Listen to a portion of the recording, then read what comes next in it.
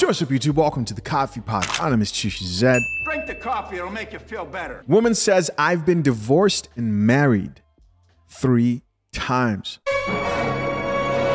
But wait, she's got some advice for you. So don't leave just yet. I know you're ready to click out. You're like, what? Boom. Nah, stay tuned. No more wasting time. Let's see what she has to say. So I've been married and divorced three times. Mm-hmm. And if I could say one thing about my experience, and I mean, you can take it or leave it, mm-hmm. it's going to be this.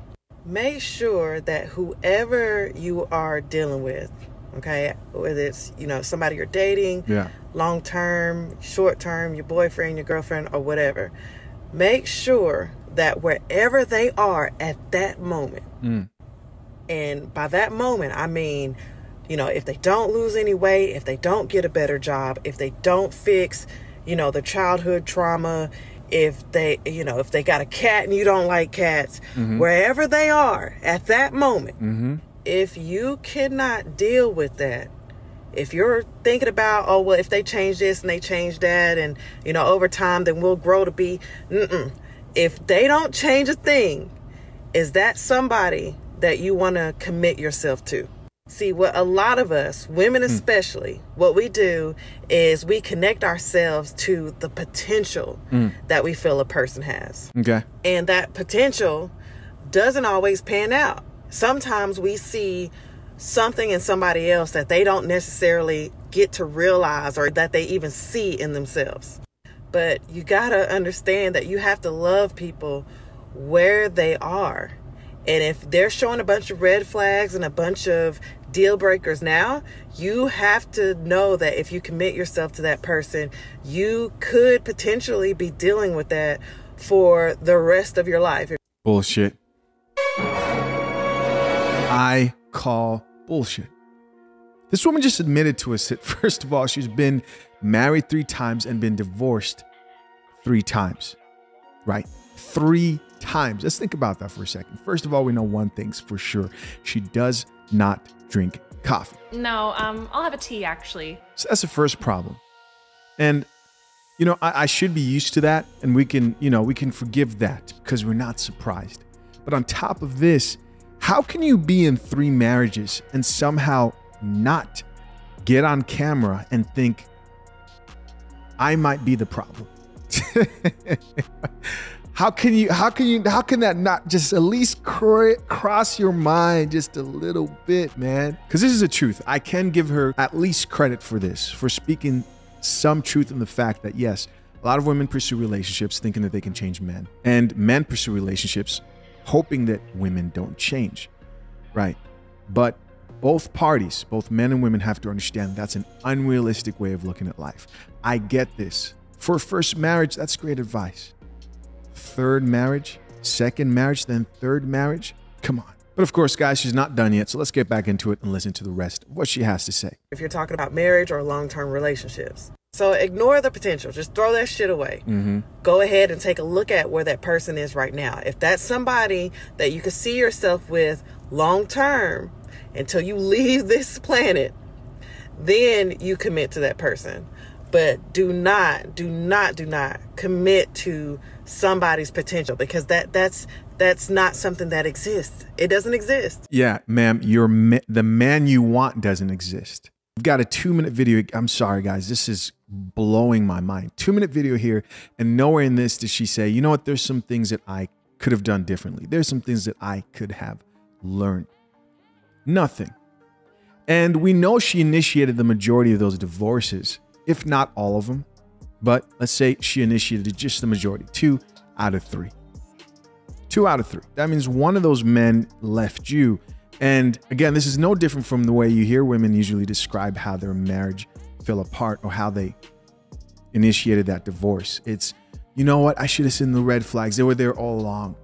Ladies, let me warn you, you want to go with your gut instinct, follow your woman intuition, blah, blah, blah, blah. The real story here is how am I in my late 40s and I'm yet to find a man who is good enough for me? Maybe it's time to look in the mirror. But guys, listen, I'm curious to know what you think. Leave your comments down below. As always, we're going to check out for these comments. Let's see what the people have to say. First comment comes from a younger woman, and she says, I just turned 23 last month and realized I can't fall in love with potential. And I can't better a man. I can only be of influence. Okay, cool. That's great. This is a great thing for a woman to realize. But again, there needs to be practicality to all this because the typical man who's where they want him to be is an unrealistic expectation, right? When it comes to everything, height. And they're just not going to find that. Why? Because women are single, independent, working, and you don't get to have your cake and eat it too. Next comment from another person says it's always the potential 500 plus likes. So she also struggles with finding a man who meets her standards. Another chick here says, another older woman here says, this is the reason I've been single for so long. Laugh out loud. But I disagree. I think the reason why this elderly woman has been single is because her username is woke underscore best friend. Here's here are the nuances in this whole discussion. Women can marry can marry anybody.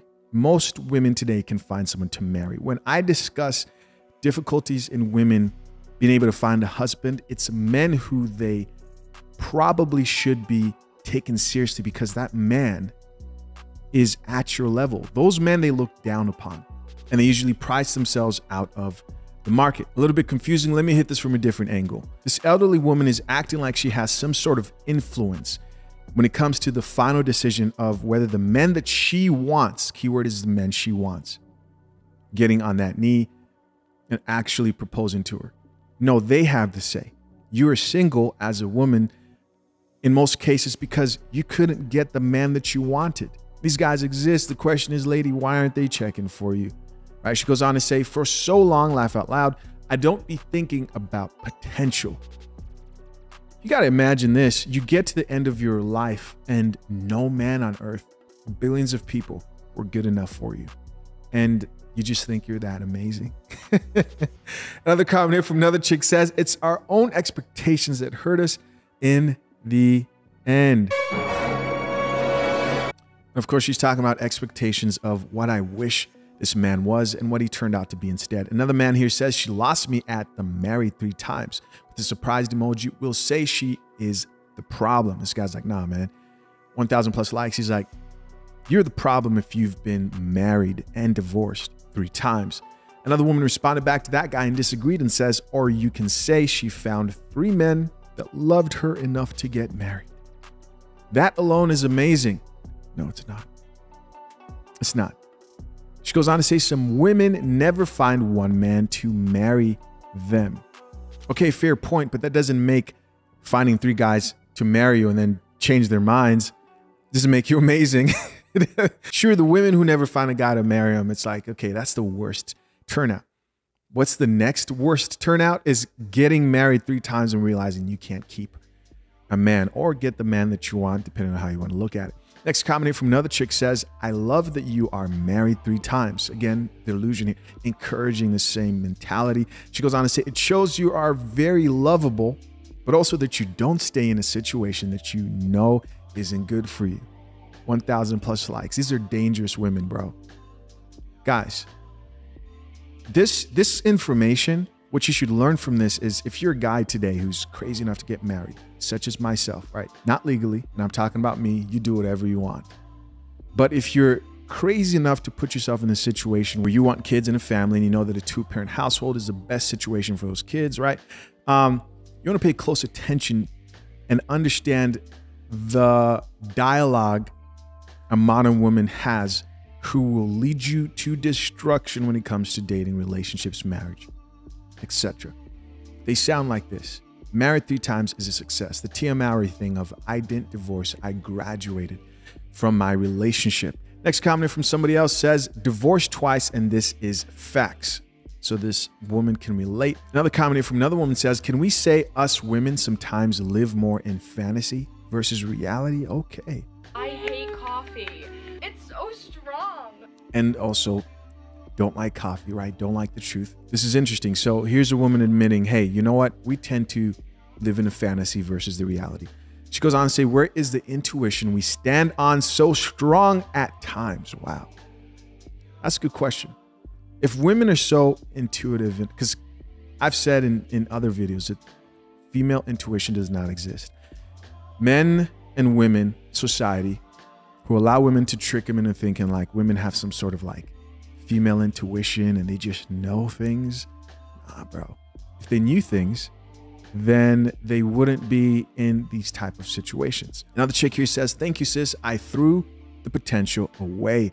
So she divorced her man. Another man here says, "I'm gonna say if you made it to three divorces, it may just be you." You know she doesn't like that coffee. Drink the coffee, it'll make you feel better. Goes on to say, but the advice is great for someone into their first.